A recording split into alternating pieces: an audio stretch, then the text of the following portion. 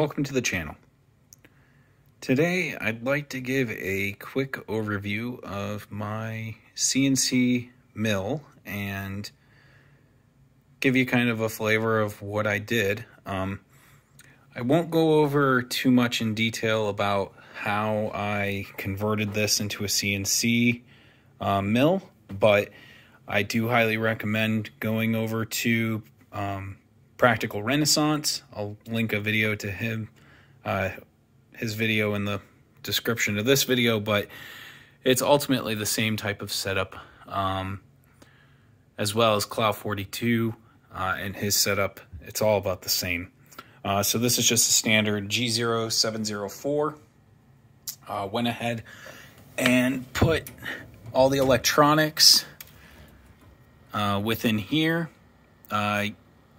You can see the um, Ethernet smooth stepper, uh, the controller board, and then all the stepper drivers.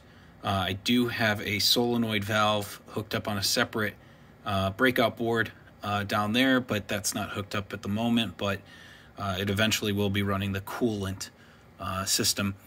there is another device that you can't really see back there, but there is an electronic brake. Um, if you are running one of these systems, you'll know uh, the Z axis is actually very heavy. Um, so because of the head of the mill, um, and if you have your ball screw set up on the Z axis, when it comes down, it actually is running at a very fast rate, which to the point that when you say stop on the motor, if the motor turns slightly, um, it will blow your power supply. Um, so there is a separate Z brake um, kind of electronic device that I put with the board. I can leave a product description of the one that I found, but I just found a used one off of eBay.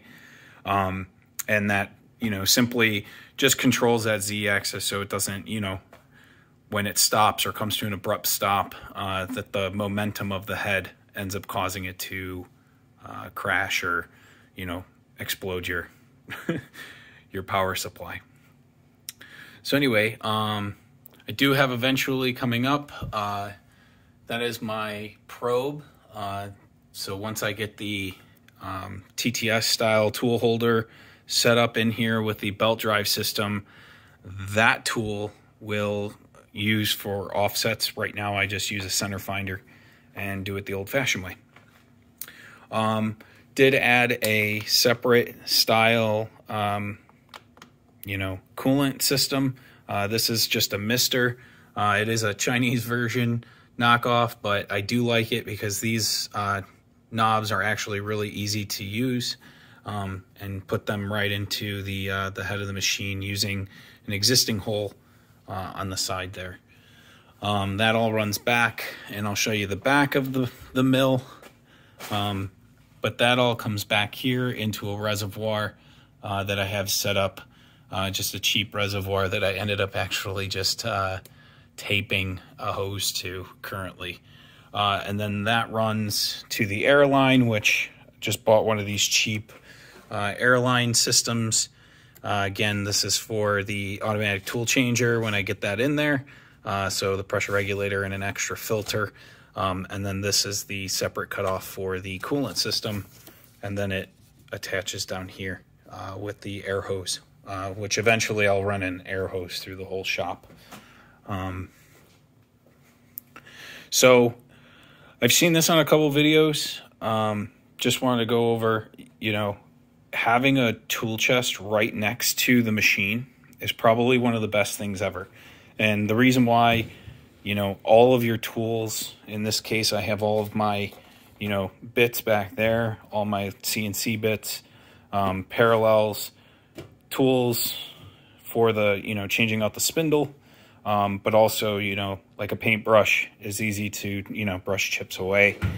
So, you know, I recommend if, uh, just a cheap set of Harbor Freight uh, end mills, which, by the way, work perfectly fine.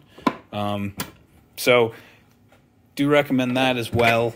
Um, I am using a micro PC or mini PC, as some would say.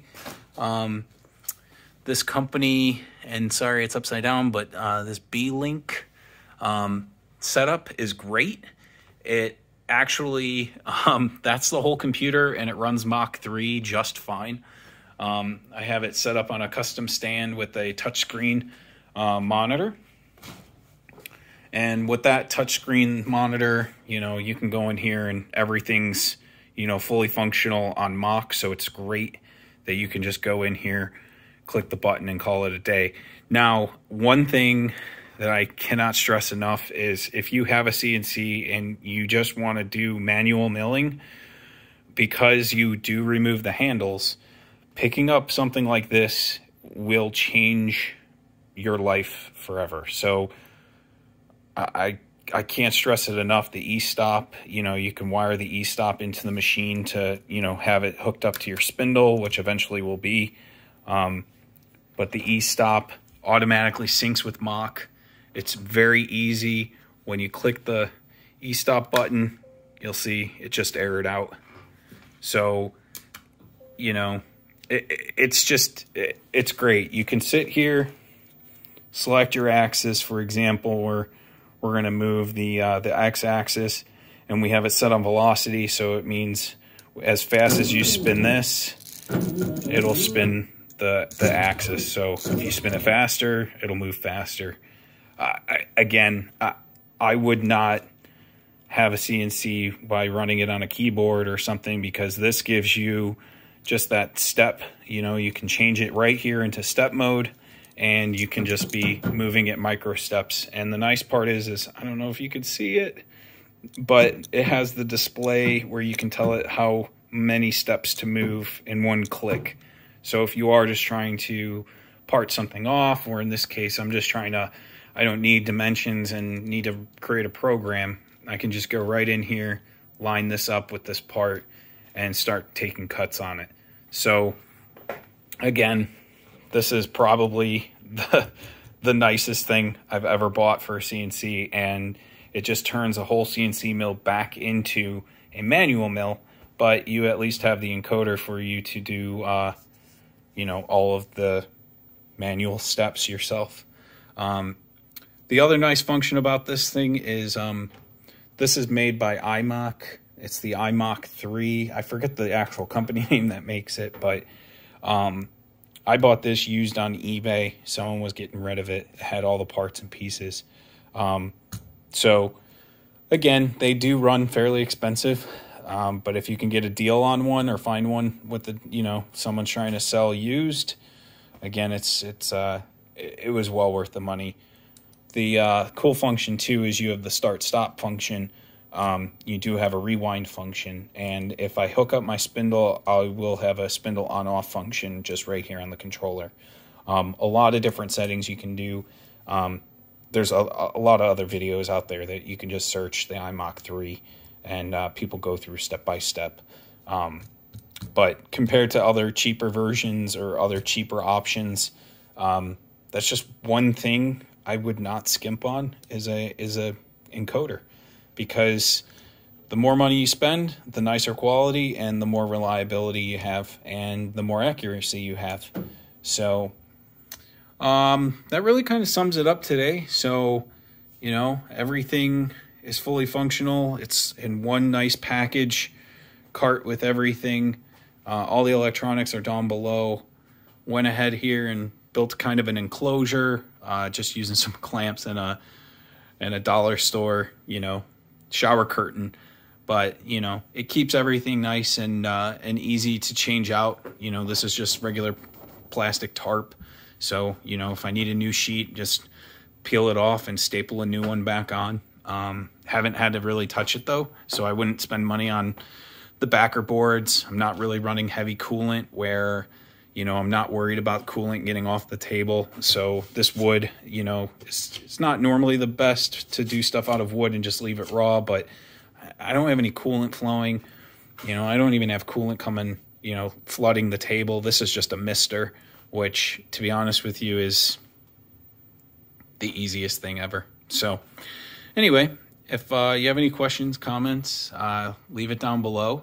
I just figured why not show off the tool and show off the uh, the fun.